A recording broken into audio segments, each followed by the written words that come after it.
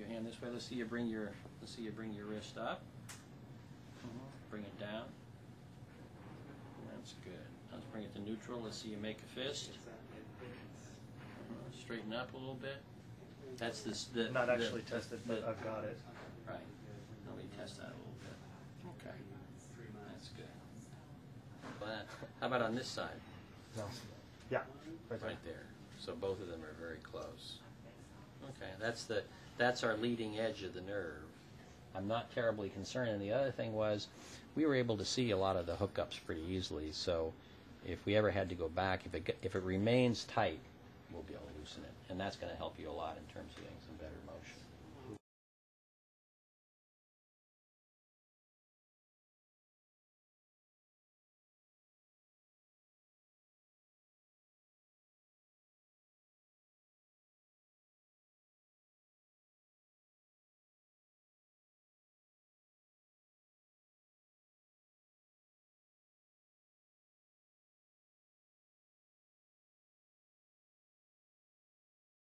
A little bit of a rash here now.